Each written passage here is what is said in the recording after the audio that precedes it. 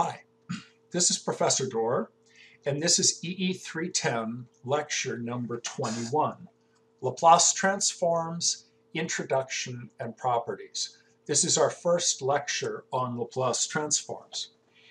Now you've all seen Laplace transforms in your math class, and that was the hard part because in your math class the Laplace transform was just a lot of math. But what it was doing was preparing you for the cool things that you can actually do with Laplace transforms. And I'm going to do my best to give you a good introduction of some of the fun things you can do with Laplace transforms, uh, even beyond our electrical engineering world, because they're used for everything. So we're going to start this lecture off with a short sales pitch. Um, we're going to talk about the usefulness of Laplace transforms, the cool stuff you can do with them, and I'm going to make sure that you understand that you're learning about Laplace transforms for really, really good reasons. Then I'm going to introduce what I call my Laplace transform roadmap. And this is a graphic that I drew, and it shows everything we're going to do in the next few lectures. So every single problem that we work with Laplace transforms and as we move into circuit analysis with Laplace transforms, we're going to be able to look at the roadmap and say, oh, we're right here and we're going from here to here. And students have found that it really helps them understand the material when they can always go back to the little roadmap and see exactly where they are and where they're going. Um, if this lecture is any better than any other lectures out there on the internet on Laplace transforms, it's because of the little Laplace transform roadmap. Um, I've really had good luck um, with that. Students have really liked that. So in this lecture, we're going to start off by defining the Laplace transform, what it is, and we're going to show you how to do the integrations that will allow you to compute the Laplace transforms of functions we're going to introduce the properties of Laplace transforms. And of course, we're going to work examples. Now, as we move into our other lectures on Laplace transforms, you're going to see that I really value the Laplace transform tables and I really value the Laplace transform properties. In 35 years of industry, I did a lot of problems with Laplace transforms I very rarely had to actually perform an integration to get the Laplace transform because smart people have already computed the Laplace transforms of lots of good engineering waveforms. So they're in the tables. And what the Laplace transform properties allow you to do is put these problems together out of little Lego blocks. So it's really not as difficult as it may seem when we're doing all the integrations. So throughout all these lectures on Laplace transforms, I'm going to really try to show you how to use those properties and use those tables so you can solve these problems as effectively as possible. What kind of problems? Well, let's start with one of my favorite things, and that's motorcycles. I love this little motorcycle. This thing is like 50 cc's and it can go well over 100 miles an hour. Part of that is beautiful streamlining. Um, this thing goes through the air like a fish goes through water. It disturbs a little bit of air and then after it's gone through it, the air is just left undisturbed. But what I'm going to focus on in this lecture is this little rascal down here. This is what is called the expansion chamber for the motorcycle. And when I was a kid, the way we made our two-stroke motorcycles go faster is we made expansion chambers. We'd weld up the metal and, and kind of hope they worked, and people would tell us what they ought to look like. Boy, do I wish I knew about Laplace transforms back then. Let's take a quick look. This is a picture of that expansion chamber. And you can see here's the engine, and here's the little pipe, and here's the little piece that kind of bloats out, and then here's a little uh, narrow piece at the end. Now, your intuition might say, hey, wait a minute, in order to make this thing go really fast, you ought to have a great big end. You ought to have a big free-flowing exhaust system. Well, here's the deal. This is actually this beautiful motorcycle. Oops, not that. Sorry, that's another picture of it. This motorcycle is a two-stroke engine. The engine is up here and you can see the expansion chamber coming out and it has all the elements of this one right here. Well, after you've had a power stroke in the engine, namely when the, the uh, gas compresses and the spark creates a big explosion, the piston starts going down and you shoot all these hot gases out the end and it makes a big acoustic pressure wave. And let's watch that acoustic pressure wave. It comes out of the engine, it goes into here, and then it hits this narrow, narrow piece. And it reflects back. It reflects here and it comes back. And when it hits the engine again, it doesn't come back as a positive pressure wave, it comes back as a negative pressure wave. So if this piston pops and the acoustic wave goes out and it reflects back and it hits a negative, it gives you a negative pressure wave just at the time that the piston has made its next pop. Then I have a big negative pressure area here and it's going to suck even more of those burned gases out.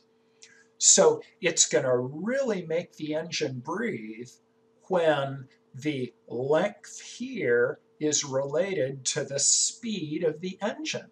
And that's why engines can have a power band where at a certain number of revolutions per minute, they have just insane amounts of power, especially two strokes. And so this motorcycle hits that power band when it's going just about 100 miles an hour. And when it's not going 100 miles an hour, it doesn't have a lot of power because the engine isn't breathing really well. But when it hits the power band, that thing's gone.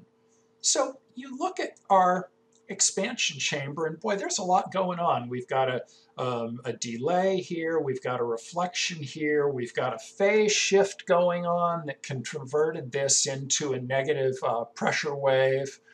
We got a lot of housekeeping to do, and when I was in high school, that was really hard to do, and a lot of it was just empirical. Laplace transforms are going to allow us to deal with these kind of problems with a methodology. And if I would have known this in high school, my motorcycles would have gone a lot faster. But if I was actually going to class in high school instead of working on motorcycles, I never would have had fun with motorcycles. So what can you say? So that's an example with motorcycles. It's the last you'll see of motorcycles in this class, unless I buy a new one or something and have to show you. But I'm going to give you um, some non-electronic examples in acoustics. We're going to talk about uh, the acoustics of sleazy bars and clubs and the acoustics of beautiful concert halls. And the Laplace transform is going to give us the tools we need to do that analysis. And along the way, you're going to learn how FIR digital filters work because it's such a natural uh, application of Laplace transforms that it's trivial for me to show you. So let's get going. Sorry, I just have to look at that motorcycle one more time. All right, so in chapter 8, we did our thuds and our boings and our initial conditions, and we talked about transient analysis because we are talking about steady state before t equals zero. We had our thud or our boing, and then our circuit went to another steady state. And then we got into sinusoidal steady state problems. And we said, oh, for these problems, the transient has completely died down. You may get a, you know, boing, and sinusoidal steady state was the ah, no transient. Well, now with Laplace transforms, we're going to put the two of those together. The Laplace transform is going to give us the means to handle both the steady state, and the transient.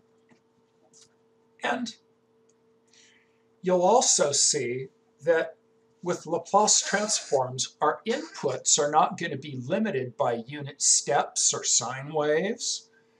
You're going to see that differential equations are turned into algebraic equations. You kind of remember that from AC steady state analysis. Well, that's another trap door in EE310 where everything's related. Um, you're going to see that a uh, Laplace analysis allows initial conditions to be handled in a very methodical way that's really a little bit easier than our thuds and boing stuff.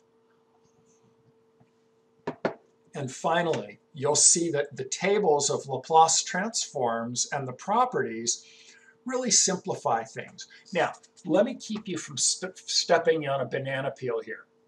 Some students say, well, gosh, once I know Laplace transforms, I can just blow off everything that we did with thuds and boings in chapter 8 or even the AC steady state stuff. Well, that's not really the case. The thuds and boings stuff we did in chapter 8 is really efficient for thuds and boings and will you, you'll want to be able to use that on the final. And steady state sinusoidal analysis is so simple that it's much easier than using Laplace transforms. So in the bigger picture, you may blow off what you learned about thuds and boings and use Laplace transforms. I got to be honest, I, I did. Um, but the steady state analysis, yeah, that's here to stay. And for the final, uh, you're not going to want to try to do a targeted thuds and boings problems with Laplace transforms because it'll just be uh, too difficult. as we see so many times, the Laplace transform, or the our textbook has the perfect definition. And it says that the Laplace transform is an integral transformation of a function f of t from the time domain to the complex frequency domain, giving big F of s. Let's look at this because it's just so well stated. The Laplace transform is an integral transformation. Okay, looks like there's an integral sign involved. Of a function f of t, that's a little f, and that's a t for the time domain. Oh, a function f of t from the time domain to the complex frequency domain, giving big F of s hey, that kind of looks like a transfer function. Function of S, yeah, you bet. You bet. Um, you're going to see the relationships there. But here, we're just talking about transforming a function in the time domain to a function in the frequency domain. So, beautiful definition here. Let's look at the anatomy of a Laplace transform. And again, this is right in the book. And let's start off here. Here is our function in the time domain. And here is our Laplace operator. So the Laplace transformer, in other words, the result of our Laplace operator on time function f of t with little f is going to be big F of s. And this is our frequency domain function. That's why we have big F.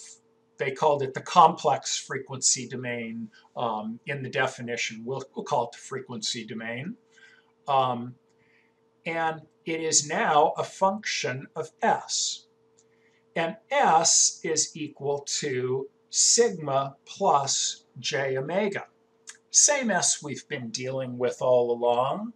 And I'm not going to really expand on this that much, and you'll see why later. But here's our S, and here is the integral transformation. Remember up here it said integral transformation of a function f of t? We said, ooh, must be an integral involved. And here's that integral. Um, it's the integral from 0 minus to infinity of the time domain function multiplied by e to the minus st dt. And what we see here is this is an f of s. And look how t gets integrated out of the integral. And it leaves only a function of s f of s. So we're going to integrate t out and we end up with a function f of s. So now that we know what the Laplace transform is, and we've seen its anatomy, and we know it's this integral transformation, let's give it some perspective with the Laplace transform roadmap. So here's our roadmap, and let's go this way. We have an input, we have a system, and we have an output. So we start with a time domain input signal or a frequency domain input signal, but the idea is the signal goes through a system and comes out the other end. So going this way, we're moving the signal um, through um, some system. So input, system. This is the circuit or the room or the expansion chamber on the motorcycle or whatever. And this is what the signal looks like when it comes out. Now, let's start off on the top where the top line here is time domain and the bottom line is frequency domain. So everything up here is going on in the time domain. We take a signal and we push it through a system using this thing called convolution. Don't worry about that, we're not there yet. And it comes out the other end. And it could be um, a unit step going through a second order system and we get our Boing out here, or it could be uh, all kinds of things. So we have time domain on the top. Now we've got this parallel universe here called the frequency domain. And what you may not realize is we've actually been using this for our steady state analysis. And you can see this block right here is called the transfer function. You know what those are. But the our lower path is our frequency domain. So what I'm saying is that a signal goes through a system, input, system, output. And at any place in the system, I can re represent the signal either in the time domain or in the frequency domain. So what we what you're going to see us doing a lot of is down here. We're going to start with a signal and we're going to feed it through a system and we're going to determine the response. And the whole quote Laplace form transform technique, though it's really just one of many things that we'll do, is right here. We'll start off with a time domain input, a little a little boinky of some sort.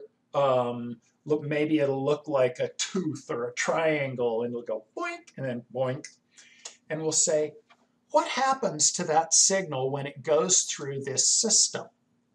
Remember, this is all just one system. It just has two different representations. What's going to happen? And here's how we're going to solve that problem. We're going to take our little boinky input signal. We're going to take the Laplace transform of it and convert it to the frequency domain. And that's that integral transformation. Then we're going to process it using the S-domain transfer function. And now we're going to get the Laplace transform of the output. And then we're going to go backwards and convert it back to the time domain. So again, we want to know what happens to this signal when it goes through this system. So we're going to go, here's our signal. Get the Laplace transform um, operate on the Laplace transform in the frequency domain, and then invert your Laplace transform and here is your time domain output. So that's the problem we're going to be working toward in this lecture and the next lecture. We're going to start with a signal, feed it through a system, system, and determine the response. Now, in this lecture, we're going to walk before we run. And we're going to take a bunch of Laplace transforms. We're going to do it um, using the integral, um, using basically this definition. Where are we on the Laplace transform? We're going to take time domain and go boink and get a Laplace transform. And then we're going to say, that was fun, let's do it again. We're going to take a time domain signal and we're going to go boink and we're going to do our integration and get a Laplace transform.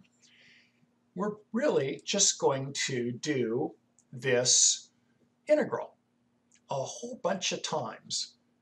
Uh, we're actually going to do a little more than that. Um, we're going to show you properties of Laplace transforms that allow you to simplify problems or take generic solutions and apply them to your specific problem. That's what the properties are really used for. But in the big picture today, we're going to go time domain, Laplace transform. Time domain, Laplace transform.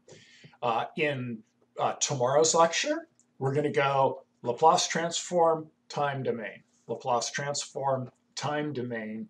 And then uh, several more lectures later, we're going to go, hey, we already know how to deal with this. And we'll see all that.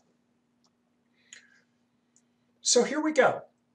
Here's a time domain signal, and I would like to find its Laplace transform. So my signal in the time domain, little f of t, is e to the minus at times u of t. Now u is the unit step function.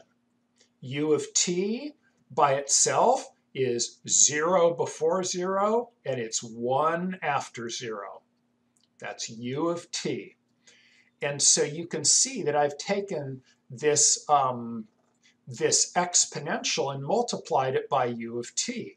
That's why there's, that's why my exponential doesn't just keep going up here because it's multiplied by u of t. And I get this nice little exponential looking function that goes out to a zillion, but it ends up at um, very close to zero as it approaches a zillion. So here's my time domain function, and you're going to see a lot of this u of t in the next few lectures. So what I'm going to do is go right back to the, my definition of the Laplace transform, this thing up here, and I'm, I've got my um, little f of t, and we're going to take the Laplace transform of it by computing this integral. You notice our limit of integration here is 0 minus.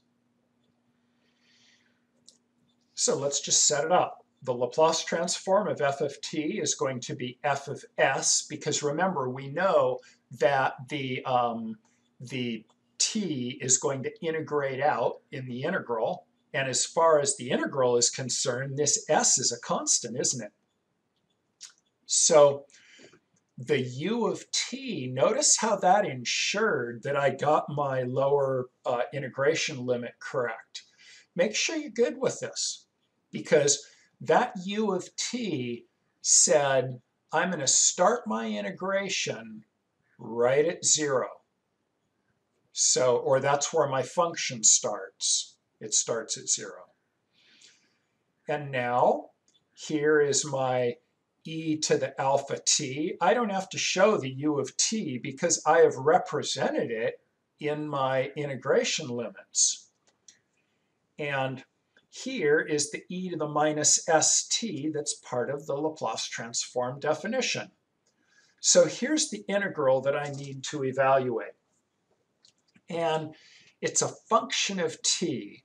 So I want to integrate with respect to t. Let's combine our e's and we get e to the minus s plus alpha times t dt. And now I integrate by putting my minus uh, s plus alpha in the denominator, and I end up with this uh, definite integral. I substitute in my limits, and I have, of course, my constant, and e to the negative infinity is going to be 0, and here we're going to have um, e to the 0 is going to be uh, 1. So I, I compute my definite integral, and I get 1 over s plus alpha. Did we do what we wanted? Yes. We ended up with a function of s. In other words, we started off with a time domain. This Laplace transform operation was just our integral operation. We ended up with f of s. We'd love to keep going, but we want to build up some chops here first. So we're going to do a few more of these problems. Beautiful little integral. Go to table 15.2 in our book. If you don't have our book, go to Wikipedia, go to any table of Laplace transforms, and you'll see this Laplace transform right there in the table.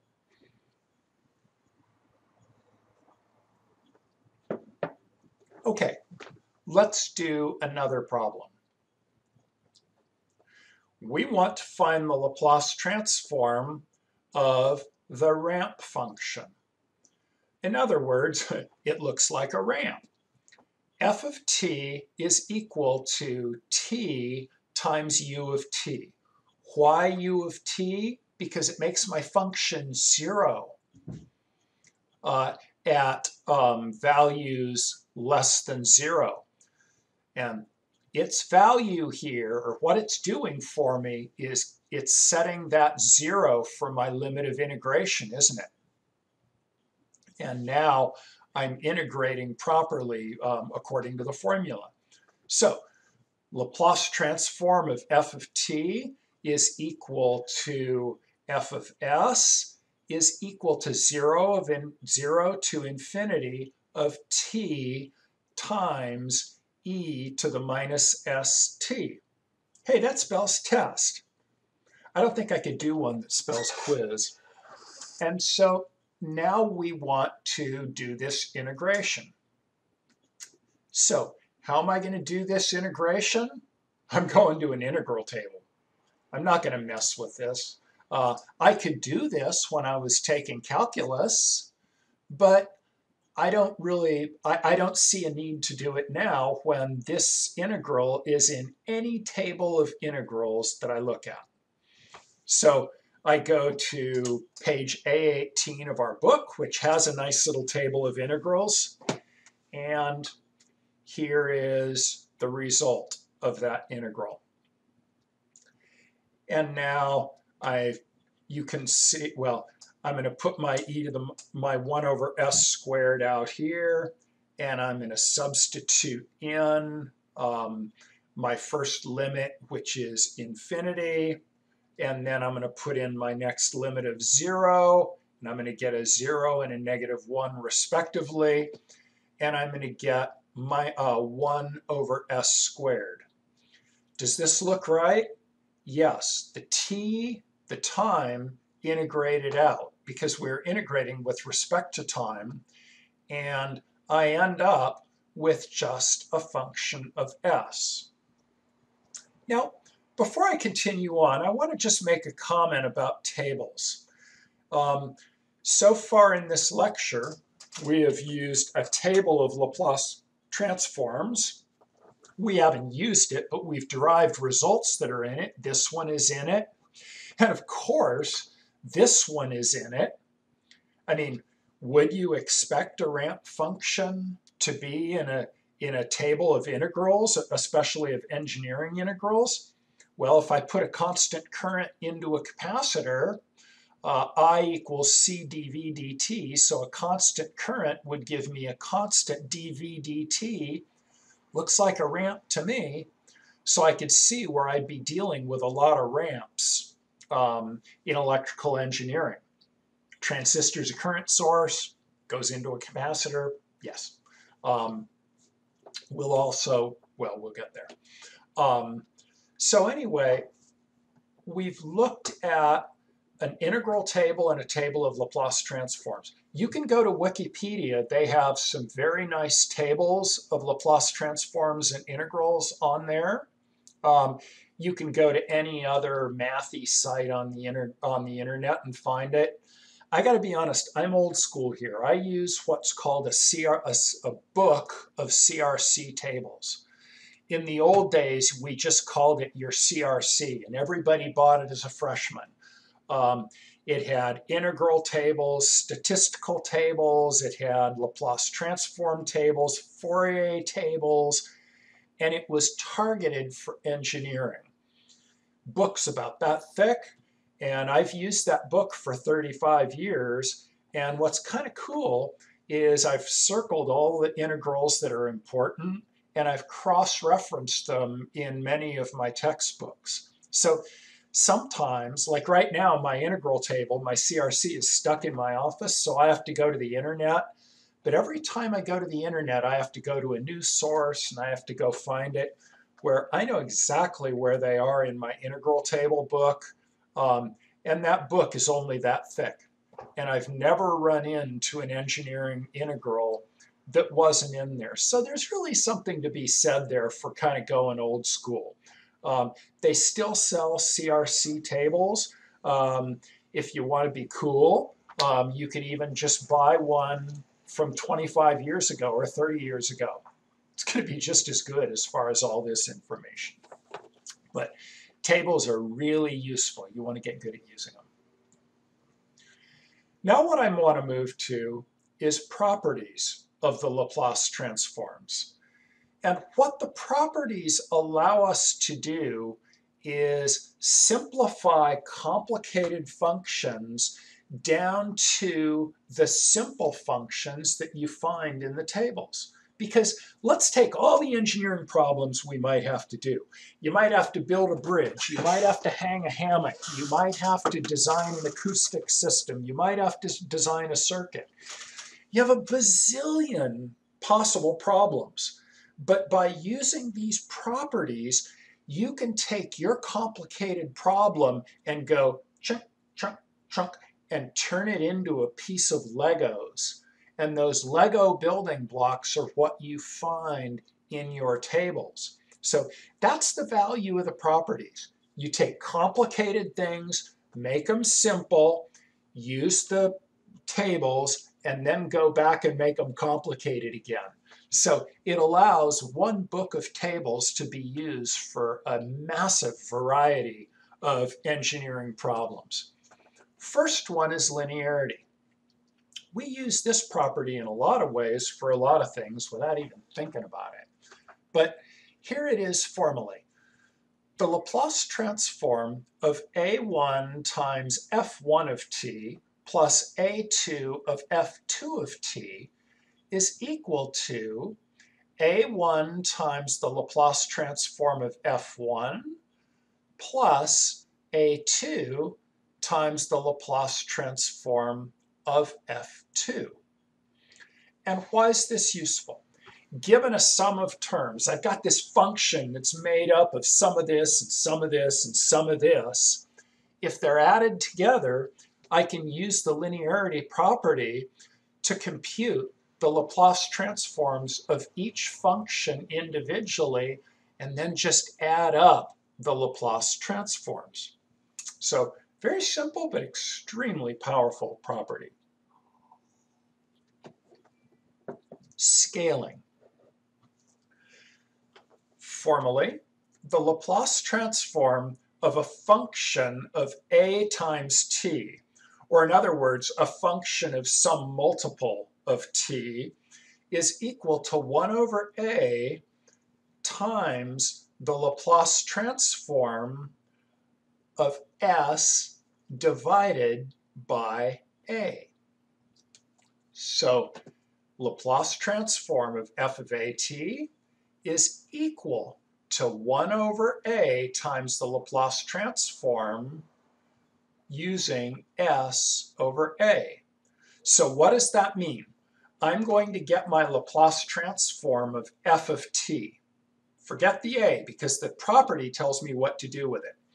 I'm just going to get the Laplace transform of f of t and then I'm going to get some f of s from that and then to accommodate the a I'm going to just change my s in the Laplace transform to s over a and put a 1 over a out in front of it.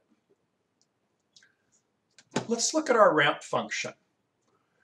We have f of t is equal to t, and f of s is equal to 1 over s squared. We just derived that, but we can get it out of the table if we want. What I want to do is get f of 3t. So you can see I'm getting the Laplace transform of 3 times t. So here is what I call my normalized result, which is just f of t is equal to t. So you can see that in one second, I go up one unit. But our problem is I go over one second and I go up three units. So what I'm going to do is say that the Laplace transform of 3t is going to be, well, a is equal to 3. So 1 over a is going to be 1 over 3, and then f of s will be replaced by s over 3. so I end up with 1 third, that comes from here. And remember, our basic function was 1 over s squared, but I'm going to call it 1 over s over 3 squared, which gives me 3 times 1 over s squared times 3 over s squared. So I did this using the scaling property. Now, what you might also notice is, hey, professor, you made that way too hard on yourself. Why didn't you just say that your 3 was really a scaling constant for the whole mess? and say it's 3 times the Laplace transform of t, or 1 over s squared. Why isn't it just 3 over s squared? Yeah, it was, but I wanted to do it with the scaling property so you could see it both ways.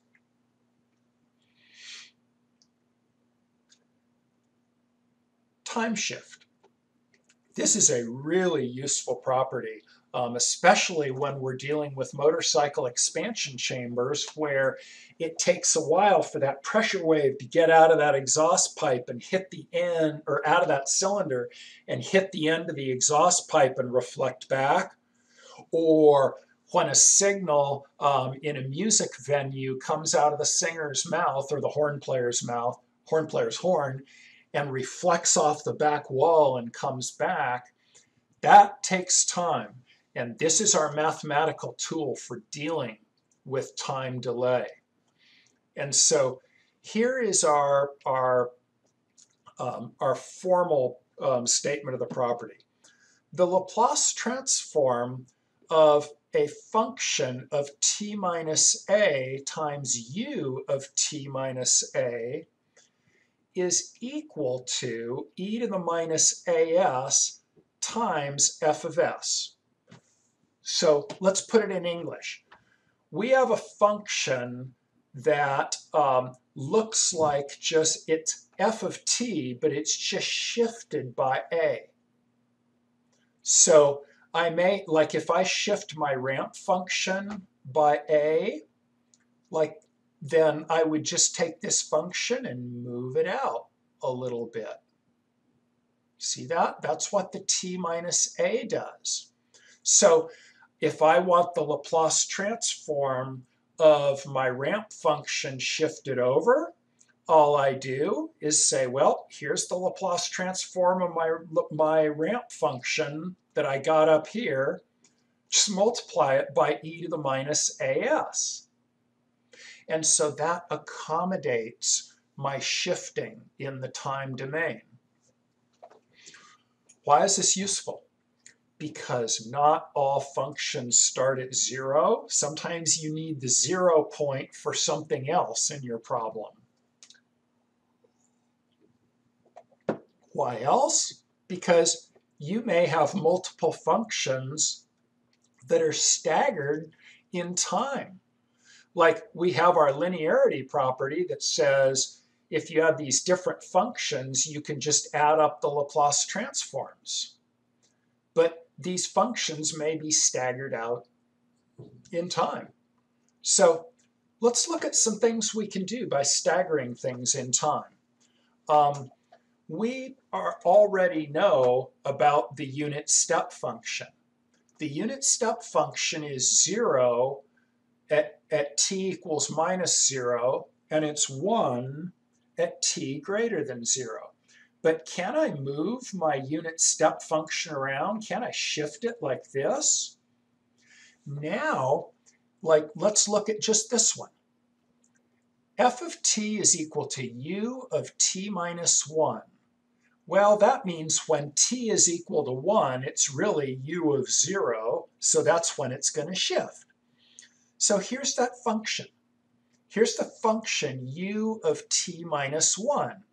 It goes boink, and then it just keeps on going. But now what I'm going to do is I'm going to subtract u of t minus 2. So it's going to be negative, so it's going to go down, and it's going to do its thing at t is equal to 2 seconds. So this mathematical function is this plot right here, right? It's negative, and it does its little boinky at 2 because when t equals 2, the quantity in the parentheses is 0.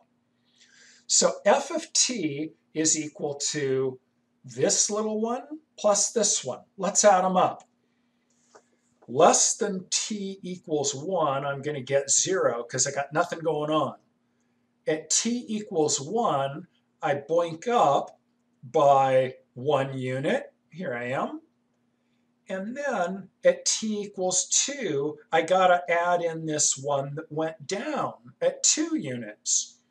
So 1 um, um, plus a negative 1 gives me 0. So the sum of these two functions, or in other words, this mathematical equation, gives us this. We got a pulse.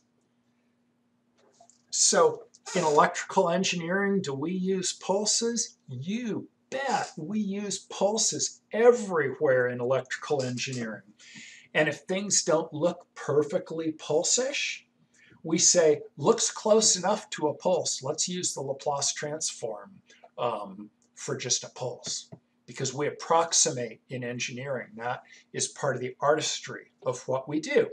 So what I've done here is I've created a mathematical function for a pulse, which is really cool because you're used to seeing mathematical functions that are continuous in time or they're a ramp or something like that. But I'm saying, here's a digital signal, folks. This is the output of a 555 timer.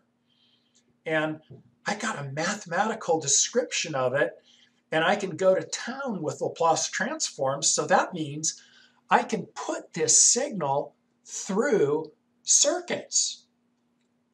So so anyway, I, I just think this is really cool. Here's a mathematical function that gives you a pulse. So let's use the linearity property on this and get its Laplace transform. Why might I want to do that?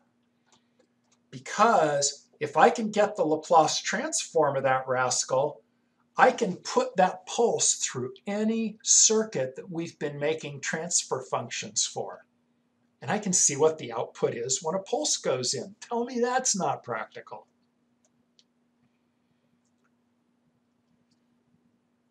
All right, so here's our time domain function, and it has two constituents, the goey uppy and the goey downy. So what I'm going to do is use our linearity property and break this into two functions. So I'll get the Laplace transform of the first function and add it to the Laplace transform of the second function. Now, For a unit step function, the Laplace transform is 1 over s. By the time we're done with this unit, you will have memorized that. But I go into my table where all the Lego building blocks are, and I say unit step, that's 1 over s. So now let's just apply the time shift property. f of t minus a, u of t minus a, is just my 1 over s multiplied by e to the minus as. Or in other words, this first Laplace transform is just e to the minus s times 1 over s. That's f1s.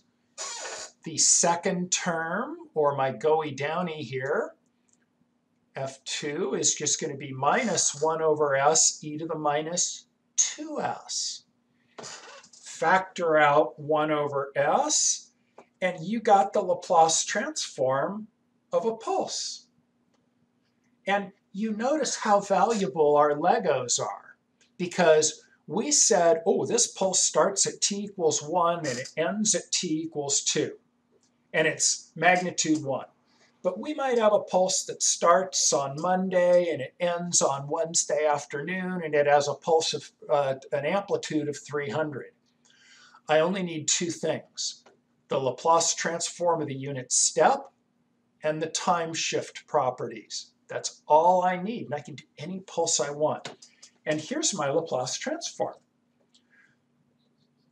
Pretty cool. I can take that little Laplace transform, and you're going to see later on that I just multiply it by the S-domain transfer function, because multiplication, and then I take the inverse Laplace transform and we can see what that pulse does going through that bunch of inductors and capacitors and whatever other linear gizmos we have in there. Our next property is frequency shift. So in this case, we have the Laplace transform of e to the minus at times f of t u of t, uh, meaning it starts at zero, is just equal to f of s plus a. So in other words, in English, if we know the Laplace transform of f of t u of t, then if we want the Laplace transform of f of t u of t multiplied by e to the minus at, we just replace s by s plus a. Now you look at this formula and you say, frequency shift, you're multiplying it by an exponential. Why is that a frequency shift? And here's why. It's because if I let A equals j omega, then now this looks like e to the j omega t, or e to the minus j omega t, doesn't really matter. And that is a complex representation of a sine wave. So a practical application of this formula is in any radio receiver you see, where you have your antenna and in into the antenna is coming some desired signal and after they do a filtering to get rid of some um, to get rid of signals at different frequencies they multiply in the time domain by a sine wave and they call that the local oscillator. And by doing this multiplication, they shift the frequency content of the signal so that it lands in this little fixed frequency narrowband crystal filter. So as an RF engineer, this is an extremely important property. And you may not have picked up that whole example right there, but if you're an amateur radio operator or you're just interested in, um, in radios and how they work, this is the process of frequency translation. And we say that this device, this multiplier, which is a gizmo that you can buy from mini circuits, is called a frequency mixer. Okay, so let's move to time differentiation. So with time differentiation, say we know the Laplace transform of f of t. Well, if we want to get the Laplace transform of f prime of t, or the, the derivative of f of t, what we do is take the Laplace transform of f of t, which is f of s, and we multiply it by s and subtract our initial condition, f of 0 prime. So the mathematical formal statement, the Laplace transform of f prime t is equal to s times the Laplace transform of f of t minus the initial condition f of 0 minus. What's the Laplace transform of f double prime t? Well, what we'll do is just do that operation again, and we get s squared f of s minus s times f of 0 minus f prime of 0 minus. So let's see what we can do with this formula. Let's say that V is equal to L di dt. Well, that's a familiar thing to us. We know that that's just the voltage current um, relationship for an inductor. So let's get the Laplace transform of the voltage. So the Laplace transform of the voltage is equal to L times the Laplace transform of di dt. And so that's going to be L times S times the Laplace transform of I, just using my formula, because the Laplace transform of I of t is just big I, and I put it here. So I can say that the ratio of the Laplace transform of the voltage to the Laplace transform of the current is equal to SL. And that, of course, is the impedance of the inductor. Our next property is the integration property, and it's pretty similar to the differentiation property, so I'm not going to give you a specific example.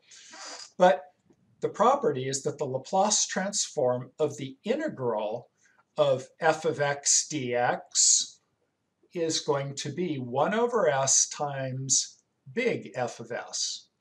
So if I know the Laplace transform of f of x, then I can just put its Laplace transform right here, and to represent the integral, I just divide that by s. Our next property is the time periodicity pro property. So let's set this up by saying that we have this little function here, and it's kind of a funny little function, kind of looks like a tortoise to me. But what I want to do is I know the Laplace transform of my function all by itself. But I want to know the Laplace transform of what this would look like if I had a periodic train of these. Of course, I couldn't use my Laplace transform formula because the time domain content goes out to infinity, so it'd be kind of hard to do my integration. But what I can do is say that if I'm going to repeat this function at this integral t, all I need to do is get the Laplace transform of this function and then divide it by 1 minus e to the minus st, where t, of course, is the period.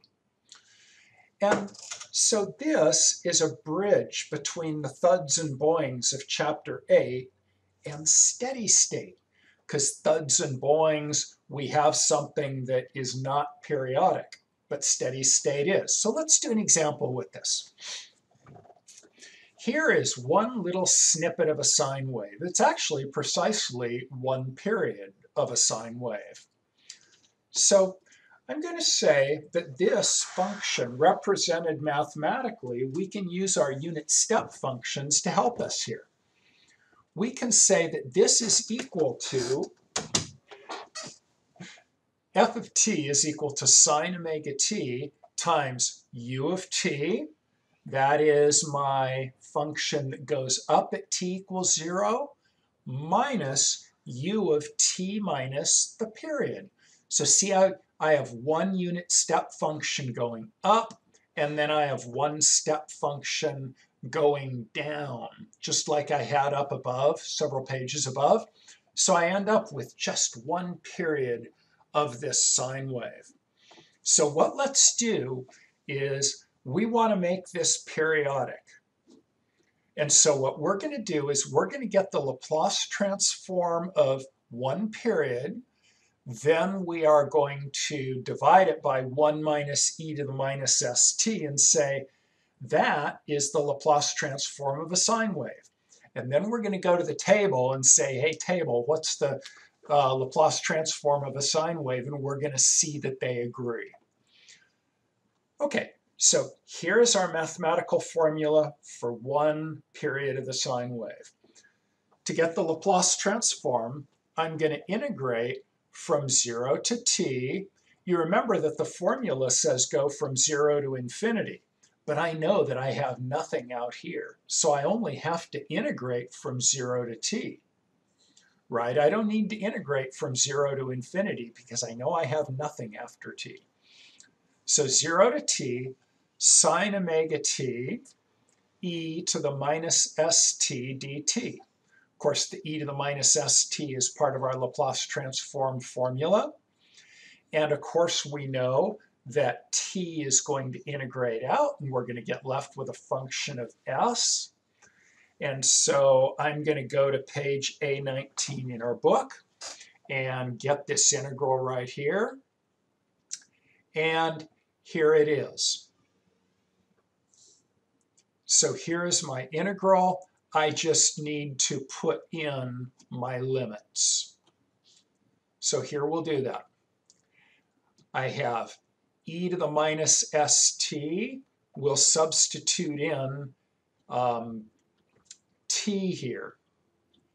And I get s times sine omega t. Well, at t, I know that my sine is going to be 0. So I'm going to go to 0. And my cosine is going to go to 1.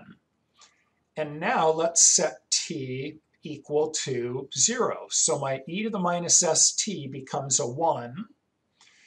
And then I have minus s times the sine of 0. That's going to be 0 again, minus omega times the cosine of 1 which the cosine of 0, which is going to be 1. So I substitute that in, put it into my formula, simplify a little bit, and here is the result I get. So this is the Laplace transform of one period of a sine wave. So now what let's do is let's make it periodic by just dividing by 1 minus e to the minus st. Or in other words, the Laplace transform of the periodic function will be the Laplace transform of our snippet divided by 1 minus e to the minus st. So here we go. We have our Laplace transform of our snippet multiplied by, I'm sorry, divided by 1 minus e to the minus st these two factors cancel and we end up with omega divided by s squared plus omega squared, which you'll find right in the table of Laplace transforms. So this is kind of our bridge between steady state and transient response. Now I'd like to give you an example of actually using the Laplace transform properties. So what we're going to do is we're going to start with a pretty ugly looking um, time domain function here. I've got a derivative in here and I've got t e to the minus t cosine t. Um, looks like I'm given an initial condition because I've got a derivative. That all sounds good to me. And I want to get the Laplace transform of that. And what I'm going to do is I'm going to break this thing down so that I can take a simple Laplace transform. In other words, I'm going to take this Lego approach because this is a very specialized function, but I want to use my small handbook full of uh, Laplace transforms and properties. When I do a problem like this, I really need a roadmap. I need some guidance. And here's your guidance right here on the right side of the paper. What we're going to do is we're going to simplify f of t, because f of t could definitely use some simplification. We're going to simplify it down to a really simple little f of t. Then we're going to take a simple Laplace transform, and then we're going to basically undo all these operations that we did. So we'll start with a complicated f of t. We'll do a bunch of operations in the time domain. Then we'll take a simple Laplace transform. Then we will take the, the uh, modifications that we made in the time domain and use them to modify what we got in the frequency domain. So simplify f of t, take a simple Laplace transform, and then modify f of s. So here we go. I see that I have a different uh, derivative here, and I have a initial condition. So I'm going to use the time differentiation property.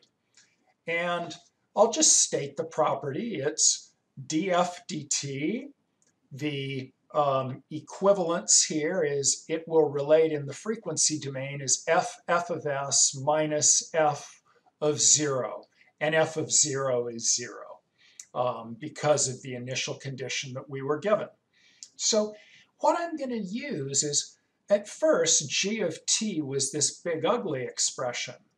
But here, I'm going to say that my time domain expression that I'm working with, that I'm breaking down, is simplified. It's now just t e to the minus t cosine. It doesn't have the ddt on it.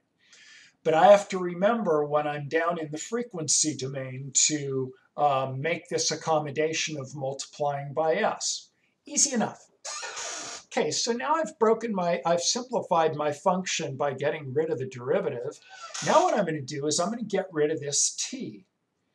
And for that, I'll use the frequency differentiation property, which says t f of t is minus the derivative with respect to f of s.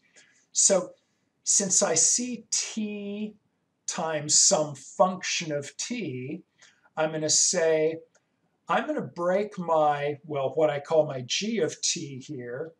I'm going to get the t out of there and say g of t is just e to the minus t cosine t. And then I will remember to take that derivative when I'm in the frequency domain. So now g of t just got even easier. It's now just e to the minus t cosine t. No t there. Now I will use the frequency shift property to get rid of this e to the minus t.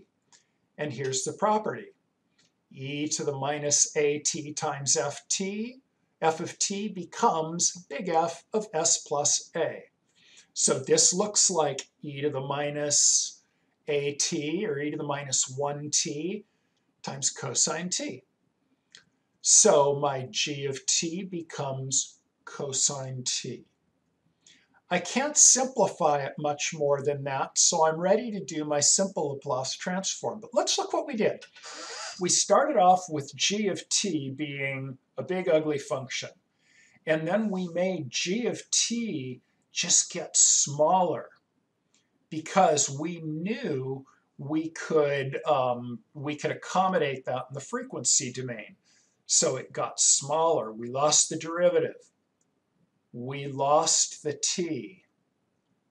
We lost the e to the minus at. And all we're left with is just a cosine. And so now let's do our simple Laplace transform. The Laplace transform of the cosine is just s over s squared plus 1. So for our frequency shift, what do we have to do? Let's go up here and we'll say, oh, we have to replace s by s plus a. And a was 1 in this case. So we'll just say s is going to be s plus 1, and this s becomes an s plus 1, so it's s plus 1 squared plus 1. Multiply it out, make it a little prettier. Now let's do our next. Our next modification. Let's accommodate the frequency differentiation. Looks like we have to take the derivative with respect to s and then multiply it by negative 1. And so we do that and we end up getting this result right here. In other words, this result is this formula um, multiplied by negative 1, and we take the derivative with respect to s. The final thing we're going to do is accommodate this time differentiation. And all we have to do there is just multiply by s. So we come down here, and this formula, we just put another s in, so we have s squared now. And now I have the Laplace transform of my big function here. I broke it down into the smallest time domain function I could. Then I backed my way out by putting in the corresponding modifications I needed to in the frequency domain, and I followed my little map right here. So that's just an example of using the properties. Properties can kind of mess students up because you're used to seeing this equals this. But the properties tell you how you can modify a function in one domain and what that modification does in the other domain. So it's kind of an equivalence thing, but it's not an equal sign like in an equation you're used to. So do some examples of this. This is kind of a little roadmap that works for me, but different people have different ways of doing this. So if this doesn't work for you, um, you may find something else out there that um, you know will lock right in with how you think. Now we want to get to operations on frequency domain functions that provide information about the time domain behavior. And let's put this on the Laplace transform roadmap before we do it. So we'll go all the way up to the Laplace transform roadmap. This lecture up to now, we've been taking time domain functions and getting Laplace transform. Bink, bink, bink. We just used the properties of Laplace transforms to get the time domain of a particularly ugly um, um, time domain waveform. And we did that with the properties. We start with an ugly time domain waveform, and we kind of got an ugly S domain waveform, but the properties made it all simple for us. Now what I want to do is I just want to take a peek at going this way. Or in other words, if I have a Laplace transform, I want to know what it's like in the time domain. If I have a Laplace transform, I can go backwards to the time domain, but I'm showing that over here. I could show it here if I wanted, but um, I showed it over here. And there's a procedure that we're going to use in the next lecture where if we have an S domain function, we can end up with a time domain function. But what I'm going to show you now is how to um, you take your Laplace transform or your S domain functions and find the time domain value not anywhere, not anywhere, not as a function of t, but at t equals 0 and t equals infinity. So we have an S domain function, and I want to know what its time domain equivalent is at 0 and time equals infinity. So we're not going to compute a function. We're going to compute a couple of values. And you might say, why do that? And the reason is in control systems, it's very important to know what's going on at time equals zero and what's going on at time equals infinity. So we have these, sne these sneaky little paths that allow us to calculate those two time values very easily. So let's do it.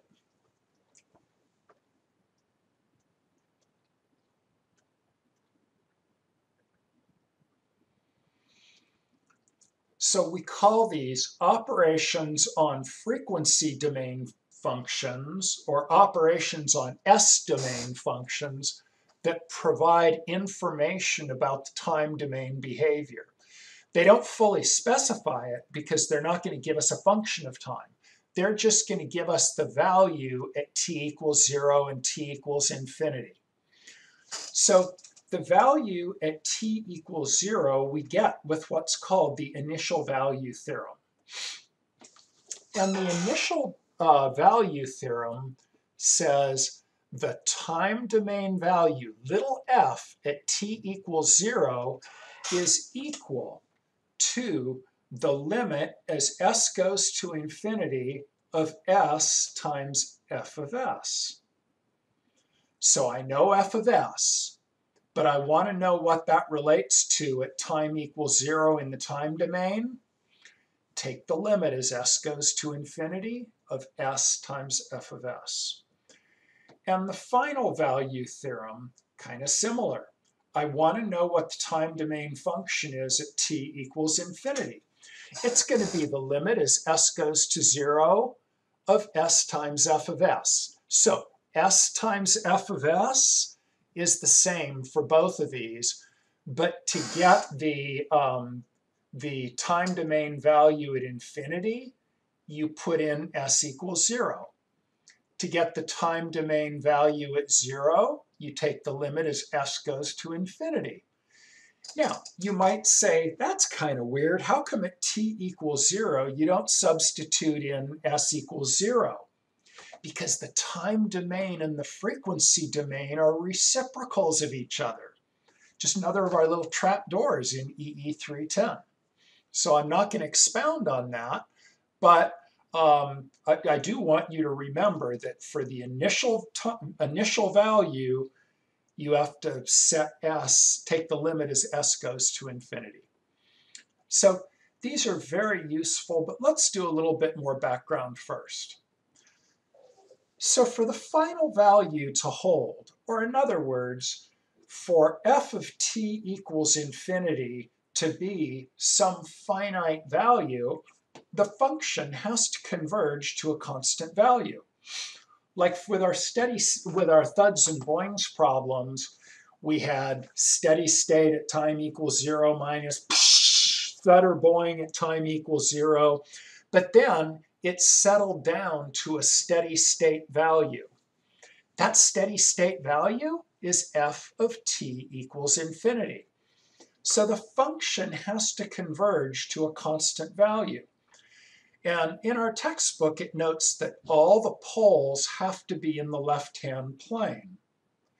Um, and you can look at that in terms of the, the uh, multiplying exponential, that's e to the minus at. And if that minus at, um, if a is, is positive, then it's going to go to zero as t equals goes to infinity. If it's negative, it's going to go to infinity. The reason that sounded inverted was because there's a negative sign in there. So we're not going to go into that in a lot of detail, but let's just look at two functions. For this function, we have a nice little boinger, and it just converges right nicely to a value. So the final value theorem is going to hold here. Now let's look at this waveform. Here, it kind of goes up, but then, boy, it just keeps on wiggling. The final value theorem would not hold here. The initial value theorem would hold in both places, but the final value theorem doesn't. And the reason it doesn't is that in this case, not all the poles are in the left-hand plane. in reality, this one has a pole right on the j omega axis. How do I know that? Because my envelope isn't getting smaller and it isn't getting bigger. So it's got to be right on the j omega axis. A lot of trapdoors in EE310. Okay, so now we're going to find the Laplace transform of this function right here. And you can see we got a cosine, we got an exponential. Looks like the linearity property is going to help us because we can get the Laplace transforms of these two functions independently. Starts at zero, so that's good. We like that. Um, and that's our u of t right here. But let's see whether this is going to converge. Let's see whether we want to use the final value theorem with this problem, or would we use the final value theorem? Well, I know that this exponential term is going to go to zero at time equals infinity. But at time equals infinity, this cosine is just going to keep on doing its little cosine thing, isn't it? And so I can see that the final value theorem is not applicable here because there is, the function does not converge. Do we have a picture? Yeah, here's a picture of it. Here's the exponential part. You can see it going down and it goes right down to zero. But that cosine that's riding on it is going to keep on being a cosine. So at t equals a bazillion, I have no idea what the value is because it's still moving. And what we're going to see is that that Laplace transform, it has a pole here, and it has poles on the j omega axis. But we're getting ahead of ourselves. But look at this and we say, we just know that the final value theorem isn't going to hold. So let's use the linearity property and break this up into two functions. So f1 of s is going to be our cosine 2t. And looks like I'm going to do it the hard way. And so I'm going to use an integral instead of just going to the table and getting the Laplace transform for the cosine. So here we go. f1 of s is going to be the integral of the cosine of 2t e to the minus st dt. I'm going to look up my integral using my using my integral tables. And here's my integral. I'm going to put in the, the limits, which are going to be values of t. And obviously here the exponential is going to pull me down to zero. So I've got a zero here minus my second term, 1 over 4 plus s squared. Remember, s is a constant here. And at 0, I'm going to have a 1 here and a 0 here. So I end up with just an S. And I have S over 4 plus S squared. Now, what I might encourage you to do is go into your, your uh, Laplace transform table and get your entry for the cosine and then use your scaling property because you have a cosine 2t not a cosine t. Make sure you get the same value using um, your table for the cosine and then your scaling property for this 2t.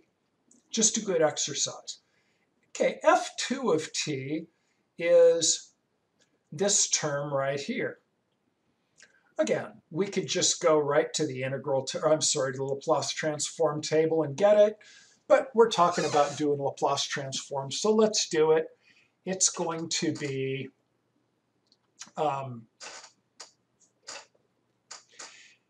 integral 0 to infinity, e to the minus 4t, that's the function, e to the minus st dt, that's part of the Laplace transform formula. We'll combine these exponents and we'll perform our integration, put in the limits, and we get 1 over s plus 4. Go to the Laplace transform table. Make sure you can pop this right out. You're given this time domain. Make sure you can look right in that formula or uh, in that table and get this in the frequency domain. Okay, so now I have big F1 and big F2. They are right here. Here's F1, here's F2. Um, let's combine them together so they look a little bit a little bit nicer. So we're going to do a little bit of algebra here. And this is what we end up with. So I'm given this Laplace transform. And I want to know the value of f of t at t equals 0. So say we're given this. Well, we know what the value of f of t at t equals 0. How do we know it? Look at this. At t equals 0, this is going to be 1, and this is going to be 1, and so it better be 2. f of t equals 0 is equal to 2. Let's see if we can get that with the initial value theorem we're going to say f of 0 time equals 0 is equal to the limit as s goes to infinity of s times f of s. So we'll multiply f of s, this mess, by an s, and we will take the limit as s goes to infinity. And I look here after I've multiplied this out, and I see some s cubed terms, and then I see some s squared and s terms, all these are insignificant compared to this. And I have 2 times infinity divided by 2 times infinity cubed divided by infinity cubed, and I just get 2. Really? I go back to my um, time domain function. Cosine 0 is 1, e to the 0 is 1, gives me 2. Everything checks out final value, final value doesn't make sense. And the reason I can tell that is because all the poles are not in the left-hand plane. And I do that by just factoring this, numer this denominator. How do I factor this cubic? I use MATLAB. Uh, recommend you do the same thing. But what I can see is that the factors, the poles of this function are at s equals minus 4, and then at plus and minus j2.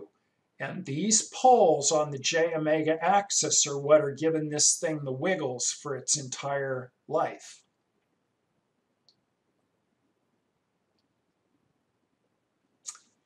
Okay, let's do another Laplace transform problem. And we've got this nice little triangular waveform here. And we can see that there are kind of two segments on this thing. We got to go up part and we go got to go down part. So the linearity property is going to really save our butts here because we can handle this one by itself as one integral, and then we'll handle this one by itself because we know we can get the equation for this line and shove that into the formula, and then we'll get the equation of this line and shove that into the formula. And of course, for this line, our integration limits will be 2 to 6, because we're going to say for this segment, it's 0 everywhere else. And then this segment is going to be 0 everywhere except in this little window.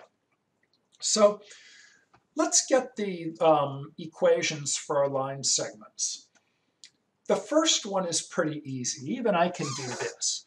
I know that I have a 0 y-intercept, and I go over 2 and I go up 10. So that means I went up 10 over 2, y equals 10 over 2 equals 5x. That's easy. Now I get this one. And segments like this always give me a little bit of trouble because I always try to make them too easy and then I get the answer wrong. So what I do now is I just go right to Wikipedia or to the covers of one of my books or the inside flaps, and I use the two-point form. It's very straightforward. So for our second, second segment, here are my two points. I have x equals 2 and y equals 10. And then I have point 2, which is x equals 6 and y equals 0. And then I go right to the formula and I say y minus y1, and I can see that point 1, here's my y1, is equal to y2 minus y1, 10 minus 0, divided by x2 minus x1 times x minus x1. Now it doesn't really look like the form of a line, but it really is. Let's put in the numbers for x1, x2, y1, and y2. y minus 10 equals 0 minus 10 divided by 6 minus 2 times x minus 2. And very quickly I can see that that is equal to minus 5 half x plus 15. And if I, and so that formula I know is right. And it doesn't take me long to get there. And that silly little trick has really made my life easier uh, here and there. So now let's get our Laplace transform of the whole thing. For segment one, we're going to go from 0 to 2, or 0 to 2, and our formula is just going to be 5t, and then e to the minus st dt from the Laplace transform formula, plus my equation here, minus 2.5 t plus 15 times e to the minus st dt. So it took me a little bit to get here, but I know I'm right. So it looks like we're to break this into three integrals because we're going to multiply these out. So I'll put my 5 over here times t to the times e to the minus st minus 2.5 times t e to the st plus 15 times e to the minus st. So I've just multiplied everything out. All these integrals are given to you on page 18. You work them out and you have got your Laplace transform for this cool little function. What if you wanted to make it periodic? What if you had a periodic train of these things? Well, then you would just use your periodicity property and divide your Laplace transform by 1 minus e to the minus s big T, where that big T is the period. Now you got the Laplace transform of this thing if it's repeated over and over again. So now let's get to our last example. Uh, on our last anniversary, I took my wife out four-wheeling in the Jeep, and we were out in the Anza Borrego Park, and we came across this absolutely beautiful radio tower. It's actually just off the um, freeway, off S22. Yeah, off S22, um, right near the Salton Sea, just to the uh, west of the Salton Sea. Beautiful tower. Had to get out take some pictures. So what do they use towers like this? This tower is used or was used to relay microwave signals from Mount Cuyamaca across the desert. So you had one of these radio towers up on Mount Cuyamaca up here, and this tower that we're looking at would be a relay station. It would actually have another transmitter on the other side. And so what it would be doing is taking maybe a couple of thousand telephone calls from San Diego and passing them along uh, maybe on their way to Denver or back east or something like that. It's a microwave tower. Um, the microwave radios on these towers these days have been mostly rendered obsolete by fiber, but they usually leave the old microwave antennas up because that's what these actually are. They're actually microwave dishes. So this tower nowadays, I suspect, is mostly used for just cellular and public uh, safety communications for the National Park Rangers. Beautiful tower, though. But let's, let's do a little bit with this tower. So what I'm going to do is from Mount Cuyamaca, I'm going to transmit a pulse. And when I transmit that pulse, it's going to leave the tower at Mount Cuyamaca, and then it's going to have a direct path right down to our receiver on the floor of the desert. And I can look at what's happening on that direct path Here's my transmitted waveform, and the pulse time is TP. So at time equals zero, I'm going to fire off this pulse. And if I look at my receiver at the, I'm going to see a pulse that is scaled by whatever path loss I get on the direct path. I'll call that AD. And it's going to be shifted in time by this delay of tau. So that's what I'm going to see at my receiver due to the direct path. But between these two paths, there's a lake. It could be Clark, Clark Dry Lake, which is just a little bit north of Font's Point. And, but I think that that lake has been dry for thousands and thousands of years. And I don't recommend going out on your dirt bike and doing speed runs on the lake because they've used it for uh, experiments over the years. And there are actually some wires down there. And my friend Kevin and I found that out the hard way once. Um, but this signal is going to hit a lake and it's going to bounce off that lake. And so when I look at my receive signal, I'm going to see my pulse that I got from my direct path, the one that came right through the air, and then I'm going to see the one that got reflected off the lake, and you can see my amplitude of the reflection is going to be a little lower than the direct path because I lost a little energy when I reflected off the lake. But it is, the delay is a little longer than the direct path. This delay was tau. this delay is tau plus delta tau. So that second pulse comes along a little ways after. So in other words, out comes a pulse, pop, and over here we hear pop, pop. We hear two. If there were two lakes, we'd hear three. Um, so what you receive is not always what you transmit. But I want to get the Laplace transform of the signal entering this receiver. And you just learned how to do that in this lecture. So let's do it.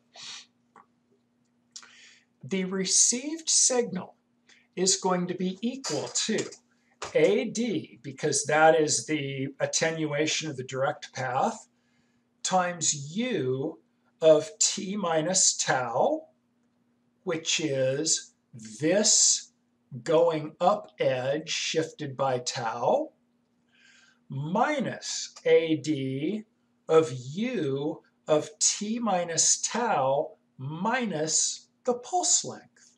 Or in other words, we're putting our go down unit step at, um, uh, at the pulse width away from where it went up.